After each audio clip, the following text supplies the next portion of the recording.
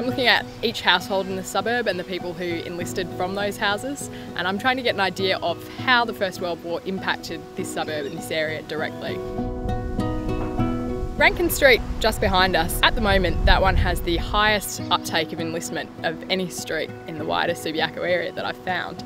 Uh, so you had 16 houses on Rankin Road and of those there were 15 enlistments. Only four houses on that street out of 16 did not send somebody to war and that's quite an unusual pattern in the scheme of things. It's a bit more spread out elsewhere. Uh, so I'm having a look at the factors behind that. I'm trying to work out what compelled people in this street to go away to a higher degree.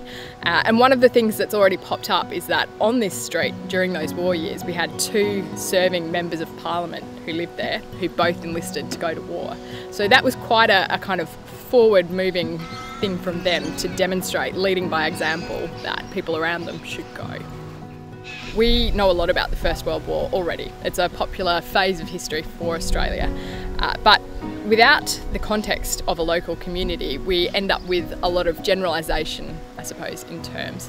Uh, so we know broad facts about the people who fought for Australia during the war. We understand that in Australia we had perhaps one in five who were married, uh, and so the weight of loss fell onto parents and, and others in that respect.